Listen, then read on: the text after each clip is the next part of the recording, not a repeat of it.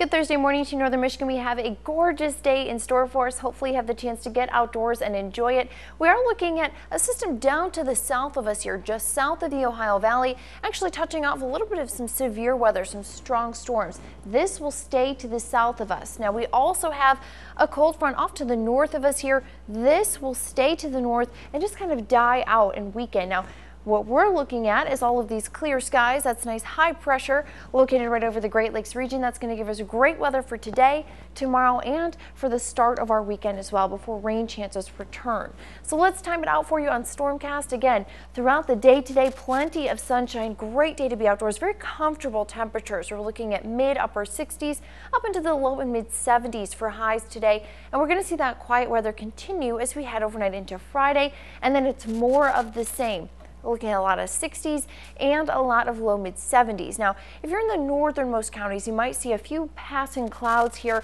But if you're headed to the central UP, that's really the only chance that you have of seeing any rain. Elsewhere, we're going to remain dry and again see plenty of sunshine.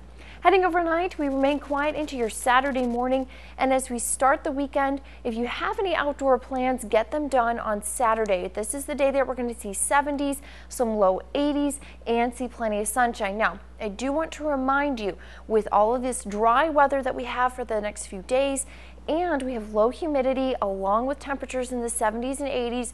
We are looking at an elevated fire danger. So while it's great to get outdoors, just use a little extra caution with that elevated fire danger with your campfires. As we head into Saturday night, this is when the next system approaches us. So late Saturday night, we are going to see the next rounds of rain. That chance of rain and maybe even a storm will stay with us as we head throughout the day on Sunday. Here's a look at the seven day forecast. You can see a little bit of a warming trend leading up to the system arriving Saturday night. Again, sunshine until then, and then we see chances of rain and scattered storms throughout the second half of the weekend with sunshine returning Monday, Tuesday, and into Wednesday, which will also bring us our next chances of rain. Thanks for clicking at upnorthlive.com.